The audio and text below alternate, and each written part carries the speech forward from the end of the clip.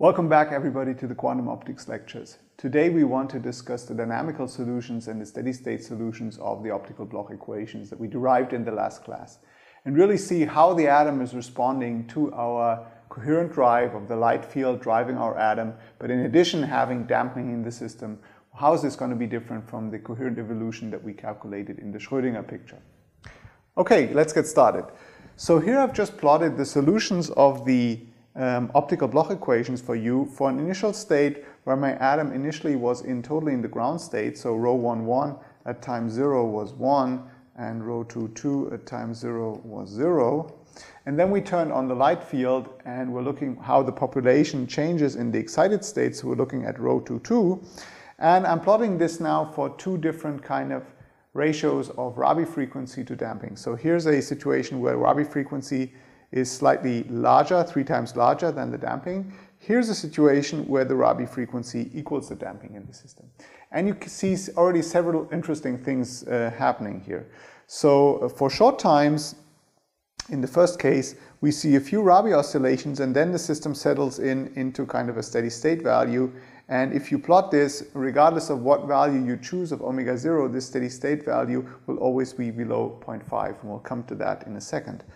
If the system is more highly damped, in this case where the Rabi coupling equals the damping in the system, so the coherent drive from our light field, the strength of the coherent drive of our light field, which is given by the Rabi frequency, equals the damping, the decay rate of our atom in the system, then we see that the system barely, you can barely see a Rabi oscillations here, and it kind of immediately settles in into this steady state value. So we can actually distinguish two time regimes where t is much smaller than 1 over gamma. And there's the regime where we actually can see a few Rabi oscillations.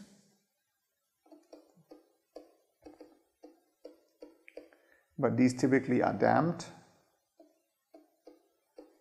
And then for longer time evolutions, t much larger than 1 over gamma, kind of these Rabi oscillations will be highly damped and we're just going to approach a steady state value uh, of our two-level atom.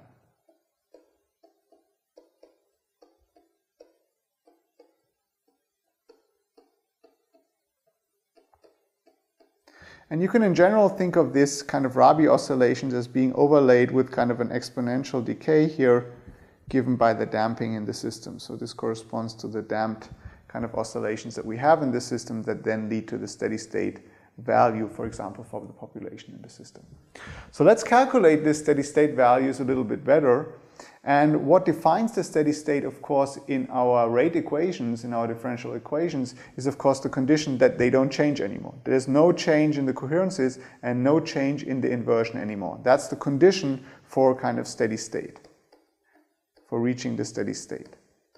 And now we can just then set this to zero here in our optical Bloch equations.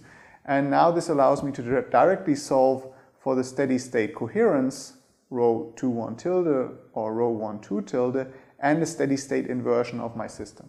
So when these are zero, I just solve this kind of two equations and solve for the inversion and the steady state coherence. And this is what I've done here. I've written the solutions down here and you see that the inversion is given by minus 1 divided by 1 plus s, where s is the so-called saturation parameter of the system.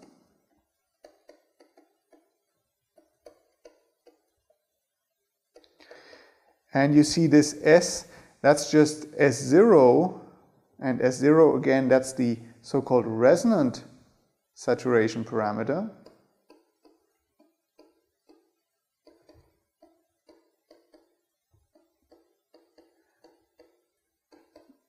Because S turns into S0 for the detuning going to zero. So you see here this saturation parameter, when the detuning goes to zero, this just equals S0, and S0, that's just the ratio actually of coherent drive in the system, the Rabi frequency squared divided by gamma squared, the damping we have in the system. So S0 is really actually a quantitative measure that tells us how damped is the system, uh, how strong is the coherent drive relative to the damping in the system. Now remember that omega 0, the Rabi frequency, that was proportional to the electric field amplitude. So omega 0 squared will be proportional to E0 squared, the field amplitude squared. and the field amplitude squared, that's going to be proportional to the intensity of the light field that we're applying. So this really is just nothing than the intensity of the light field divided by some characteristic intensity of our atomic system that kind of we can calculate if you tell me your atom, the transition you're using, I could come up with this characteristic intensity given by my atomic physics parameters of my atom. So it's a ratio of the intensity here divided by this characteristic saturation intensity. And again, remember it's the ratio of coherent drive, Rabi frequency divided by damping. All right, let's look at a few solutions that we can get now. So I've written here again these steady state solutions, uh, the saturation parameter, the resonance saturation parameter, and now let's look at a few limiting cases that can occur in the system. So first of all, let's consider, let's just write this again as intensity divided by some saturation intensity. Now let's consider the case where the uh, saturation, intent, saturation parameter is much smaller compared to 1. So this would correspond to very weak intensities or a highly damped system. So this ratio of Rabi frequency to gamma to damping is very small, so we have a highly damped system. And in this case, when we're driving the system very weakly, when we're having only a very weak light field on the atom, you see then we can basically neglect this S, S goes to zero, and W approaches the inversion, inversion approaches minus 1. Minus 1, remember the inversion that was just rho 2, 2, minus rho 1, 1. And inversion approaching minus 1 means the atom is in the ground state. Atom is mainly in ground state.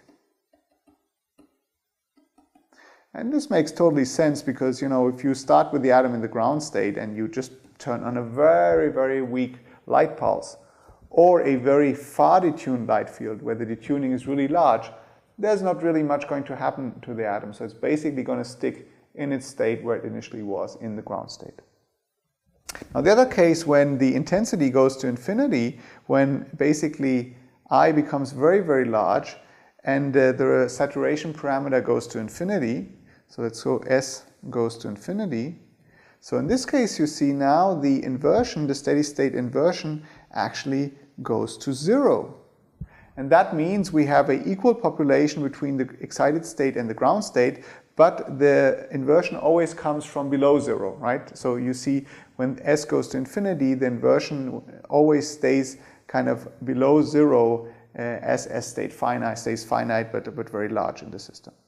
So we see that the system kind of always tends to have a little bit more population in the ground state compared to the excited state in this two-level atom. Even when we drive it extremely hard, the steady state solution can only approach the 50-50 occupation limit of those two, two levels that we have in our system.